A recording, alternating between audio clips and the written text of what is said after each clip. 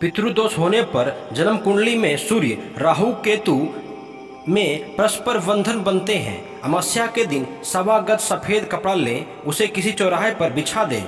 उनके एक कोने में सवा पाँच रुपये तथा कुछ चावल रख कर बाँध दें और एक जटा वाले नारियल लेकर पितरों का ध्यान करते हुए उस कपड़े पर रखें तथा बाँध कर गांठ लगा दें। ऐसा करने के पश्चात नारियल को उठाकर किसी सुरक्षित स्थान पर रख दें।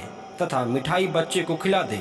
संभव हो तो खाना खाने से पहले थोड़ा अन्न निकाल के अलग रख दें। उसे गाय को खिला दें।